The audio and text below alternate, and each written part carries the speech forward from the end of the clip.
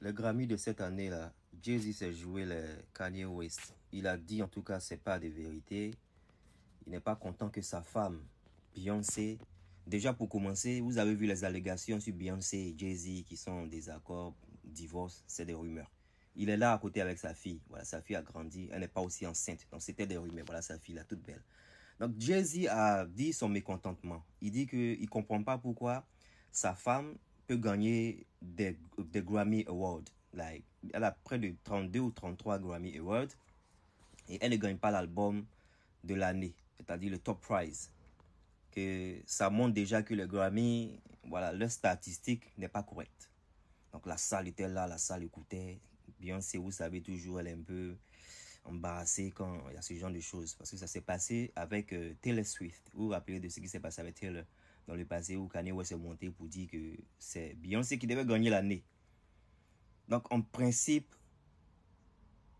ce que voilà, ce que Jay-Z a dit va toujours aussi embrasser Beyoncé. En gros, je sais pas ce que vous pensez.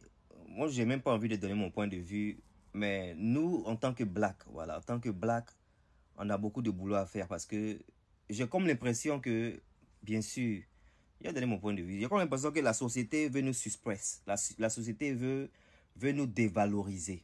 Voilà. Et c'est pour ça, ça me fait plaisir du speech de, de Jay-Z. Il a fait un beau speech après pour you know, nous dire que même si on ne nous veut pas quelque part, le simple fait de montrer qu'on arrive, le simple fait de démontrer qu'on ne va pas disparaître parce que les gens veulent qu'on disparaisse, le simple fait de show off, show up, montre notre détermination.